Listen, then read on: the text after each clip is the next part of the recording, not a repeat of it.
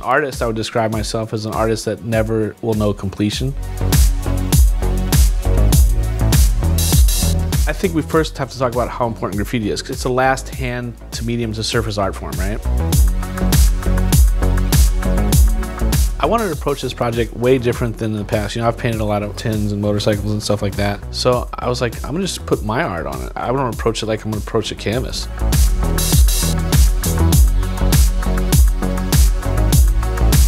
Doing these things right now because I'm in a celebratory stage of life with my daughters and I'm so happy and I'm, I'm painting a lot of butterflies and Buddhas. So I was like, I'm gonna go totally counterculture and just do a painting.